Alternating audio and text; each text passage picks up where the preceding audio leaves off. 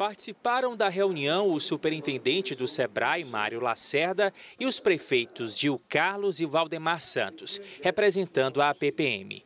Eles foram recebidos por Jesus Tágira Filho, diretor-geral da TV Cidade Verde.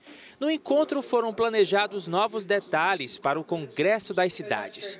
Os gestores participantes vão ter a oportunidade de ganhar novos conhecimentos e aprimorar a administração, um incentivo à prática de políticas públicas eficientes. Deverão ser discutidos temas clássicos como soluções para saúde, educação, infraestrutura, mas também é, temas é, mais modernos, é, como meio ambiente, desenvolvimento econômico, responsabilidade fiscal, controle interno, enfim, é um conjunto de elementos que são importantes para a modernização da gestão pública municipal e assim a otimização dos recursos públicos, mas também é, deve-se debater a captação de recursos. São assuntos de extrema importância para que nós, gestores municipais, com a nossa equipe de gestão, secretários, enfim, toda a equipe técnica, possamos receber essa gama de informação importante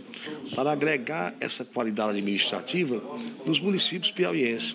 O Congresso das Cidades ocorre entre os dias 13 e 15 de março na sede da FIEP. As inscrições já estão abertas no portal Cidade Verde e também no site do Sebrae Piauí.